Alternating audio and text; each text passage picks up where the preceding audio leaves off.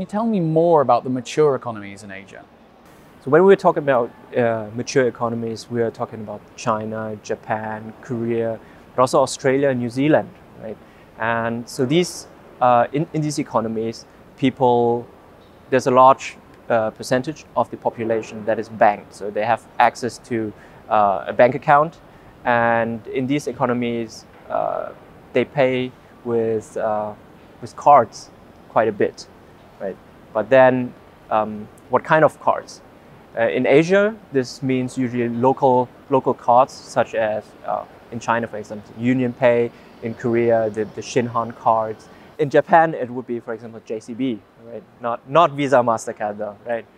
Singapore, our base, uh, like 50%, over 50% of the cards payment is eNETS payments, right?